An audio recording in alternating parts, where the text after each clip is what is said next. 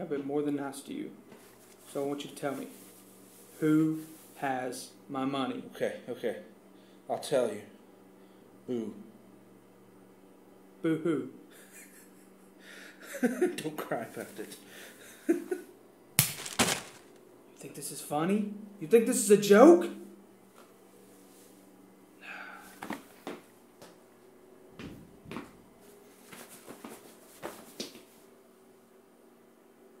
Why don't you just untie me? Let's chalk this up to one big misunderstanding.